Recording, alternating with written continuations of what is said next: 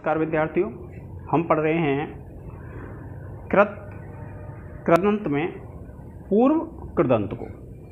अब देखिए, पूर्व कृदंत में सबसे पहले जो हम पढ़ेंगे, वो कौन से प्रत्यय पढ़ेंगे? रबुल और त्रिच। तो रबुल और त्रिच जो प्रत्यय हैं, देखिए, उनके लिए एक सूत्र है रबुल त्रिचव और रबुल त्रिचव क्या कहता है? कि, देखिए, इसका अर्थ है धातु से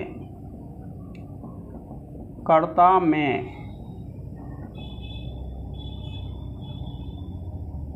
डबल व त्रिच प्रत्यय होते हैं।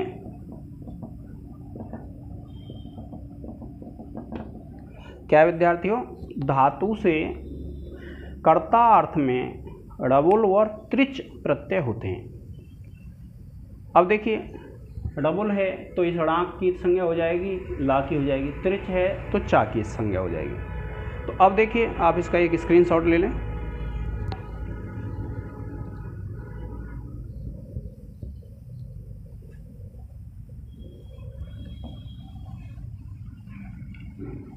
इसी में एक दूसरा सूत्र है, विद्यार्थियों योवोर नाको कौन सा सूत्र है? योवोर नाकौ ये सूत्र है, विद्यार्थियों। इसका अर्थ है, यू और बू को अन और अक आदेश होते हैं।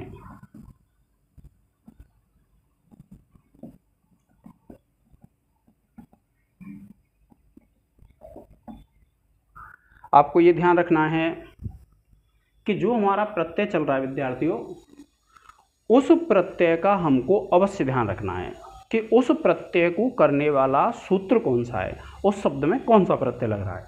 अब आपके लिए शब्द जो आते हैं, उनकी मैं सिद्धि करा रहा हूँ। अब देखो विद्यार्थियों, कि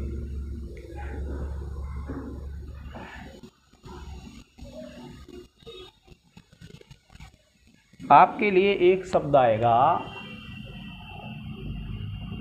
कारक। कारक। ये कई बार आता है विद्यार्थियों। अब कारक आपसे ये नहीं पूछेगा कि पूर्व कृदंत का है, किसका है। आपसे सिर्फ़ शब्द दे देगा, कारक आपको सिद्धि करनी है। अब देखिए, कारक जो है, आपको क्या करना है? आप सबसे पहले लिखेंगे किरी धातु और आप ले आएँगे डबोल प्रत्यय। और सूत्र लगा देंगे आपका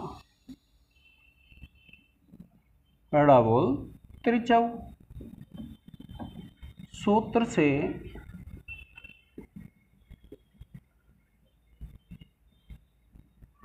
डबोल प्रत्यय आगम।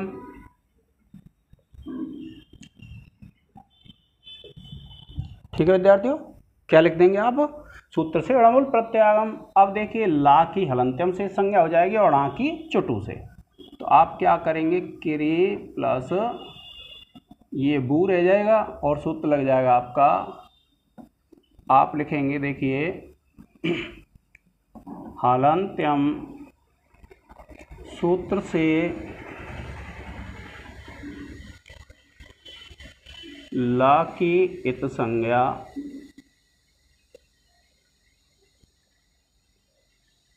व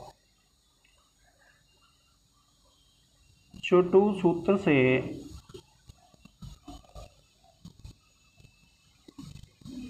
इसको उड़ा नहीं लिखें तो हम ऐसे लिख सकते हैं। णकार की इत संज्ञा तथा तस्य लोपः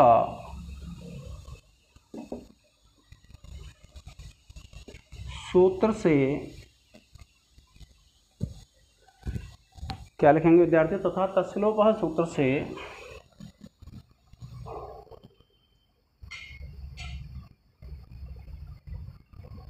लकार व णकार लोप।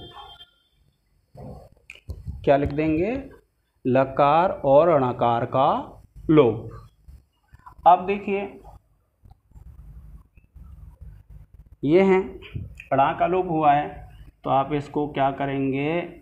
इस का को वृद्धि कर लेंगे। कार हो जाएगा और वो है ही और सूत्र लग जाएगा विद्यार्थियों आपका। अचोड़नीति से आप लिखेंगे अचोड़नीति सूत्र से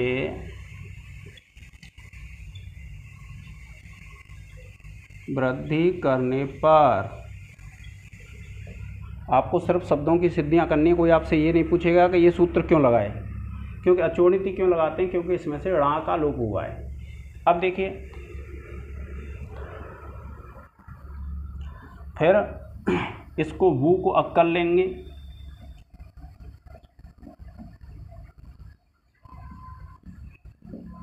आपने अभी सूत्र पढ़ा था, कौन सा था? योगोर नाकौ। सूत्र से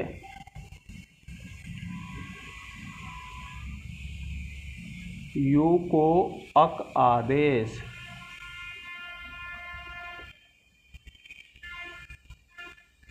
यह हलंत नहीं है, विद्यार्थियों। ये पूरा है। क्या लिखेंगे? योबोर नाकौ सूत्र से यो को भू आदेश। और फिर इसको आप जोड़ देंगे। ये बन जाए कारक। आप लिख देंगे अधीनम परेण संयोजन से संयोग और विभक्ति कार्य कर देंगे।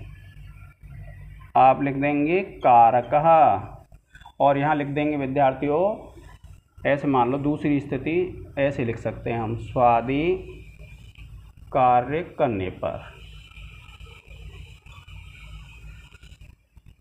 रूप सिद्ध। इसका आप एक स्क्रीनशॉट ले लें विद्यार्थियों।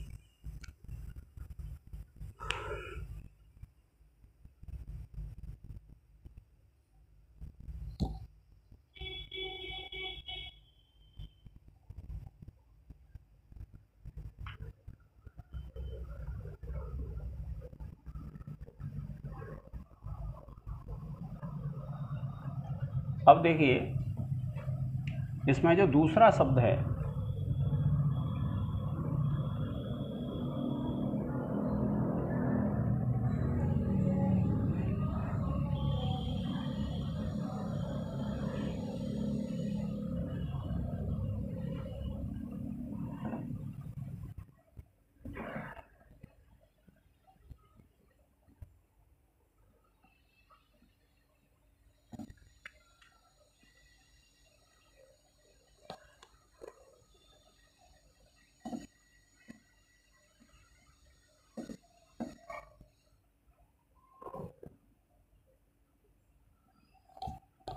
देखिए, अगला जो शब्द बनाना है आपको, कौन सा बनाना है?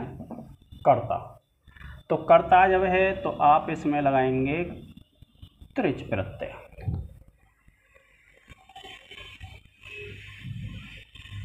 आप लिखेंगे, विद्यार्थियों, कि डबल त्रिचव सूत्र से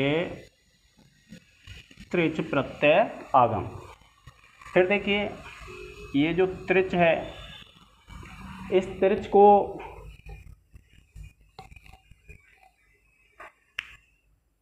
हलंत्यम सूत्र से चा की संज्ञा व तत्स्वरूप सूत्र से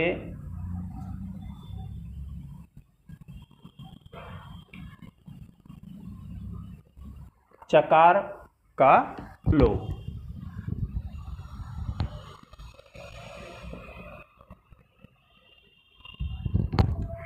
ये है विद्यार्थियों अब उसके बाद देखिए इसकी अर्धातु संज्ञा करेंगे हम। क्री प्लस त्रिच और सूत्र लगा देंगे। आर्ध धातुकम शेष से त्रिच की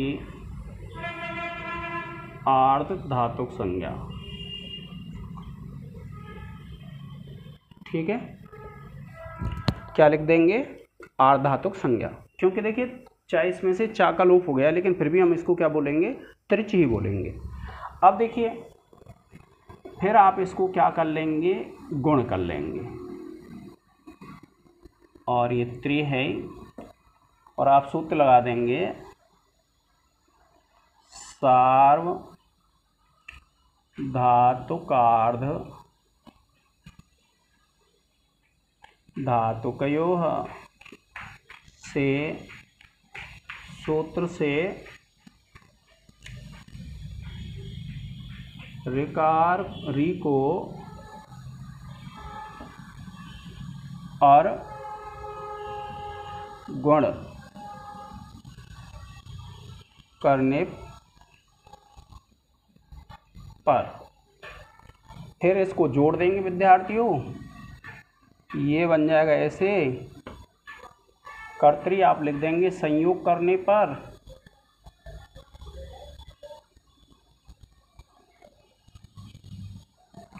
और जब आप इसको बनाएँगे, आप लिख देंगे कर्ता और आप लिख देंगे विभक्ति कार्य करने पर।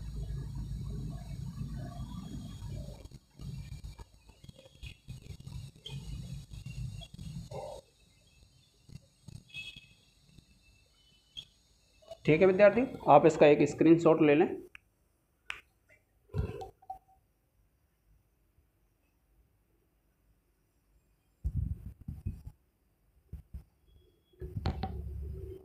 अब देखिए विद्यार्थियों, आपके इस पेपर में कारक और आते हैं व्याख्या के लिए। और कारकों को आप करते हैं और कारकों की व्याख्या भी करते हैं। तो कारक क्या है? आपको सरल पढ़ते हैं। क्यों पढ़ते हैं? क्योंकि 20 नंबर का हमारा ये टॉपिक हो जाएगा और पंद्रह नंबर का कारक है। पंद्रह या बीस नंबर का होगा, आप सिलेबस देखेंगे, आपको पता चल जाएगा कितने नंबर का है कारक प्रकरण। तो उसमें क्या करना है, जब आप पढ़ रहे होंगे तो आप उसमें कुछ भी नहीं छोड़ें कारक प्रकरण में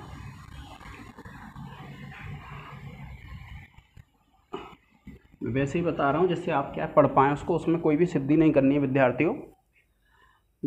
जैसे मान के चलिए, एक सूत्र आ गया आपकी परीक्षा में मान लीजिए यह सह युक्ते अप्रधाने। यह सूत्र है, विद्यार्थियों। ठीक है? जब आप इसका अर्थ पढ़ते हैं तो क्या लिख रहा है? मान लो ये सूत्र आपकी व्याख्या के लिए आ जाता है, परीक्षा तो आप क्या लिखेंगे? आप लिखेंगे सह के योग में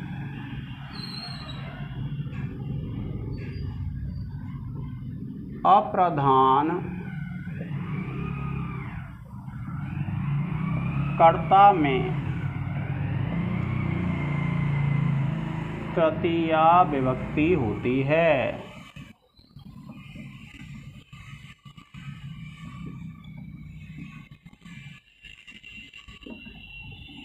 ठीक है विद्यार्थियों, ये परिभाषा आप सबने पढ़ी हुई है कि सह के योग में तृतीया विभक्ति होती है। अब आप लिखेंगे जैसे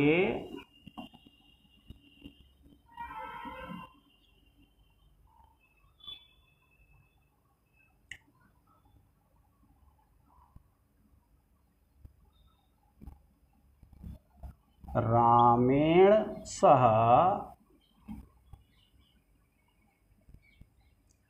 सीता गच्छति।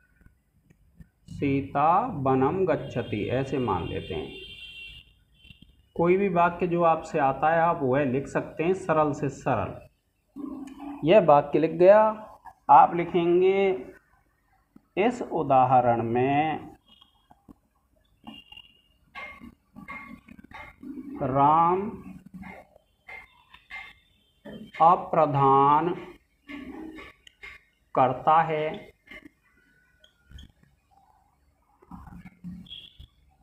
अतः प्रकृत सूत्र से राम में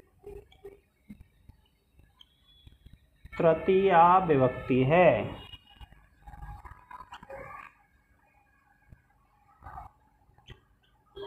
यह विद्यार्थियों, आपको ये ध्यान रखना है कि इससे ज़्यादा आपको कुछ भी नहीं लिखना है उसमें। अगर आप लिखोगे तो आपका समय भी खराब होगा और उसका कोई भी औचित्य नहीं होगा।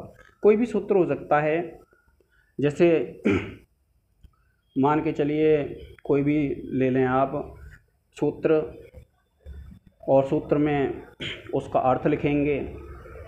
अर्थ लिखेंगे, अर्थ लिखने के बाद फिर उसका उदाहरण लिखेंगे और फिर आप उसमें ये बता देंगे कि इस उदाहरण में चतुर्थी किस कारण से हुई है। ठीक है विद्यार्थियों? जब आप ये इस प्रकार से बता देंगे, आपको पूरे अंक मिल जाएँगे। आपको कारक का कोई भी सूत्र नहीं छोड़ना है और अगर फिर भी आपको कोई परेशानी आ रही है तो आपको क्या करना है कि द्वितीय, तृतीय और चतुर्थी, ये जो तीन व्यक्तियाँ हैं, इनको अच्छी तरह से कर लें तो इनमें से आपको दो तीन सूत्र, चार सूत्र मिल जाएँगे। और आपको इसी प्रकार से मान लीजिए, दूसरा सूत्र है, कर्मणी द्वितीय आ गया, मान लीजिए। तो कर्मणि द्वितीय है तो आप लिख देंगे, उसका अर्थ कर्म में द्वितीय विभक्ति होती है। जैसे, राम पुस्तकम पठती। तो इस, आप लिखेंगे, इस उदाहरण में पुस्तक कर्म है, इसलिए प्रकृत सूत्र से द्वितीय विभक्ति हो जाती है। आप मान लीजिए, और कोई उदाहरण ले लें। कैसे? जैसे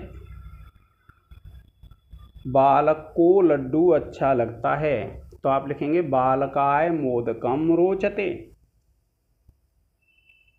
तो आप लिखेंगे, रुच धातु के प्रयोग में जिसको अच्छा लगे उसमें चतुर्थी विभक्ति होती है। जैसे, बालकाय मोदकम रोदते। इस उदाहरण में बालक को लड्डू अच्छा लगता है, इसलिए बालक में चतुर्थी विभक्ति है। तो इस तरीके से जब लिख देंगे तो आपकी व्याख्या पूर्ण हो जाएगी विद्यार्थियों। अब हम पूर्व ये कारक प्रकरण है। पूर्व कृदंत का नहीं है कहीं आप ये समझ लें कि ये पूर्व कृदंत का है। कारक प्रकरण को अच्छी तरह से तैयार कर लें। एक निबंध वेदा नाम महत्व वेदो अखिलो धर्म मूलम कोई भी हो कुल मिला के वेद पर हो। आ, जो भी आ जाए वैसे आपको बदल के आ सकता है। आप मान लो कोई भी आ जाए, वेदांगा नाम महत्वम अवेलो वेदो, अखिलो धर्म कुछ भी आए, आपको वो पूरा निबंध लिख देना है। क्वेश्चन है। आपको ये समस्या आ रही थी कि कहाँ है?